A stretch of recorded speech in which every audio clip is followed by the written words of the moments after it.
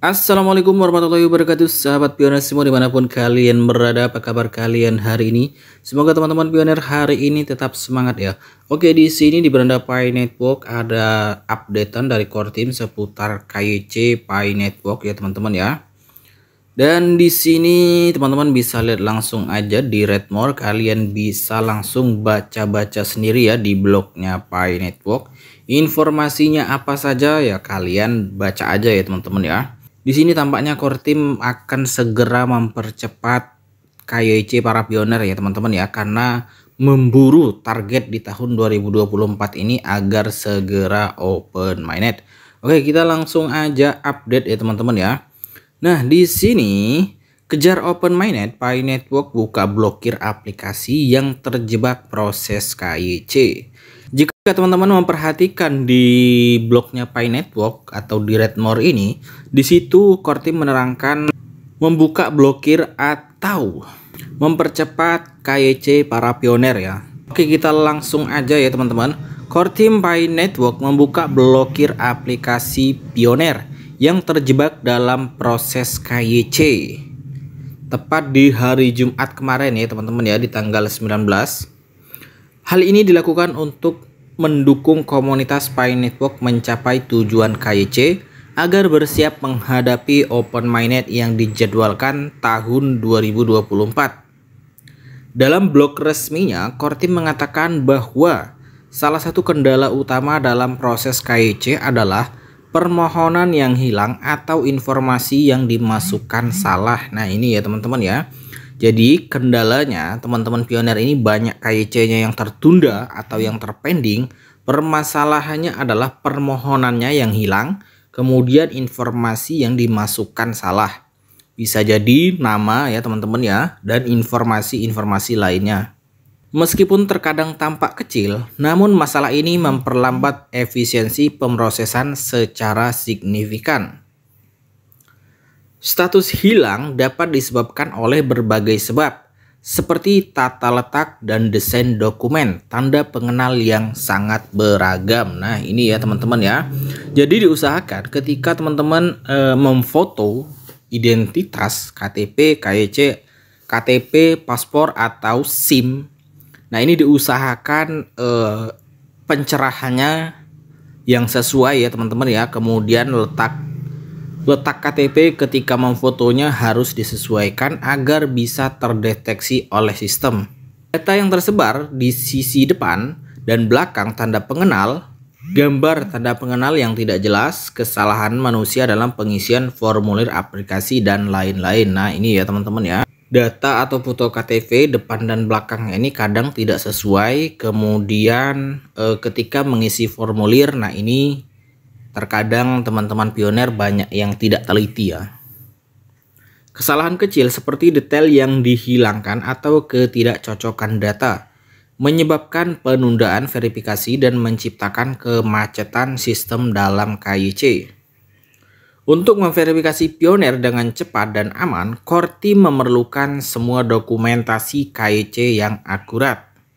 Tidak mendapatkan KYC karena masalah kecil, ini membuat frustasi.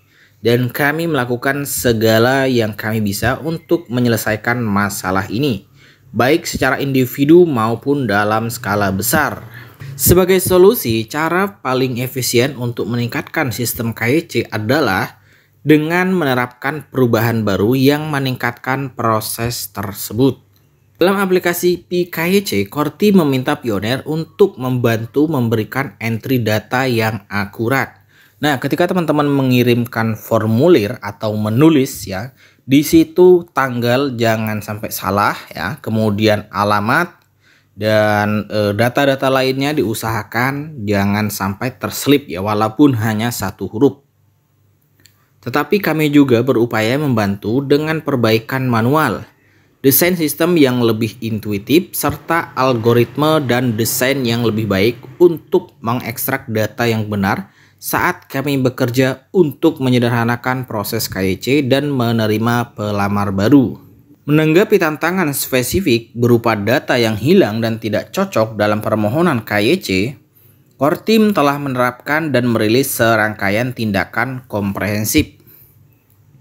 Masing-masing dirancang untuk mengatasi permasalahan spesifik dan pada akhirnya mengurangi kasus-kasus yang disebabkan oleh penyebab ini dalam proses KIC secara signifikan.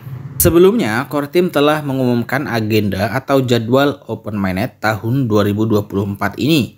Dalam pengumuman rencana Open Mainnet, P-Core Team menyampaikan tiga syarat pentingnya, terutama pencapaian dalam kondisi 1, 2, termasuk KIC yang bergantung pada upaya desentralisasi dari pioner, pengembang komunitas, dan core team.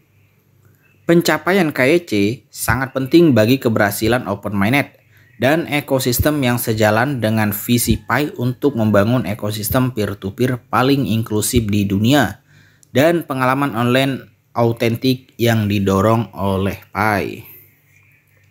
Oke, kita coba telusuri di blognya Pi Network ya teman-teman ya. Di sini kita langsung klik aja read more. Nah, di sini kita coba lihat ada keterangan mengidentifikasi dan mengatasi masalah. Salah satu kendala utama dalam proses KYC kami adalah permohonan yang hilang atau salah memasukkan informasi. Untuk memverifikasi data dengan cepat dan aman, kami memerlukan semua dokumentasi KYC Anda yang akurat. Tidak mendapatkan KYC karena masalah kecil ini bisa membuat frustasi dan kami melakukan segala yang kami bisa untuk menyelesaikan masalah ini, baik secara individu maupun dalam skala besar. Pada akhirnya, cara paling efisien untuk meningkatkan sistem KYC kami adalah dengan menerapkan perubahan baru yang meningkatkan proses tersebut. Dalam aplikasi PKEC, kami meminta Anda untuk membantu memberikan entry data yang akurat, tetapi kami juga berupaya membantu dengan perbaikan manual, desain sistem yang intuitif, serta algoritma dan desain yang lebih baik untuk mengekstrak data yang benar saat kami bekerja untuk menyederhanakan proses KYC dan menerima pelamar baru. Kemudian di sini ada solusi dan efektivitas terkini Menanggapi tantangan spesifik berupa data yang hilang dan tidak cocok dalam permohonan KYC, kami telah menerapkan dan merilis serangkaian tindakan komprehensif yang masing-masing dirancang untuk menargetkan permasalahan spesifik yang pada akhirnya mengurangi kasus-kasus yang disebabkan oleh penyebab di dalam proses KYC secara signifikan. Nah, di sini ada beberapa langkah yang diambil oleh core team ya, teman-teman. Di sini yang pertama adalah pemrosesan ulang aplikasi KEC secara komprehensif. Sebelum November 2023 ada sekitar 1,5 juta aplikasi yang terhenti dalam proses KEC karena ada data yang hilang di aplikasinya. Oke, di sini ada informasi dari core team ya teman-teman. Sebelum di bulan November di tahun 2023 ini ada 1,5 juta aplikasi yang terhenti dalam proses KEC. Di sini maksudnya ada sekitar 1,5 juta pioner yang KYC-nya terkendala ya teman-teman ya. Kami meningkatkan kode untuk mengekstrak data dari dokumen ID, menerapkan perbaikan baru pada 1,5 juta kasus di bulan November. Kemudian membuka blokir sekitar 200.000 permohonan untuk melanjutkan proses KYC dan menghasilkan 1,3 juta kasus tersisa yang mengalami masalah ini pada akhir tahun November 2023. Kemudian di sini ada lagi yang kedua, algoritma yang ditingkatkan untuk menyelesaikan sub masalah. Dalam analisis lebih lanjut pada aplikasi yang tersisa, kami mengidentifikasi submasalah dan dan menerapkan iterasi kedua dari kode yang mengekstrak data yang diperlukan dari dokumen ID. Pada pertengahan bulan Desember, kami kembali melakukan upaya pemrosesan ulang yang komprehensif dengan meninjau kembali total 1,3 juta permohonan. Pemrosesan ulang komprehensif kedua ini memungkinkan sekitar 532.000 aplikasi terlepas dan melanjutkan perjalanan KIC mereka. Dan secara signifikan mengurangi jumlah aplikasi yang diblokir karena data yang hilang dalam proses KIC. Kemudian di sini ada peluang pengajuan ulang untuk perintis. Jadi teman-teman nanti bisa mengajukan proses KYC ulang ya. Dalam kasus lainnya yang mengalami masalah yang sama, kami mengidentifikasi bahwa pengiriman ulang oleh perintis dapat membantu menyelesaikan masalahnya. Misalnya gambar dokumen yang tidak jelas tidak dapat diselesaikan hanya dengan perbaikan algoritmik. Cukup mengunggah gambar lain yang jelas sudah cukup. Kesalahan manusia pada formulir lamaran disebabkan oleh pelamar sendiri pada saat penyerahan pertama. Sehingga kesalahan tersebut harus diperbaiki sendiri. Oleh karena itu, kami mengizinkan sekitar 768.000 pelamar yang tersisa yang diblokir oleh masalah ini untuk memiliki satu kesempatan lagi untuk mengirimkan kembali lamaran mereka. Langkah yang dilakukan pada akhir bulan Desember ini tidak hanya bertujuan untuk memberikan kesempatan kedua, tetapi juga untuk mengedukasi pengguna akan pentingnya informasi yang jelas, akurat, dan lengkap. Memungkinkan eh, 123.000 permohonan lainnya berhasil dibuka blokirnya dari masalah data yang hilang dalam proses KEC. Dan jumlah ini terus meningkat seiring dengan semakin banyaknya permohon yang mengambil tindakan atas peluang pengajuan ulang tersebut.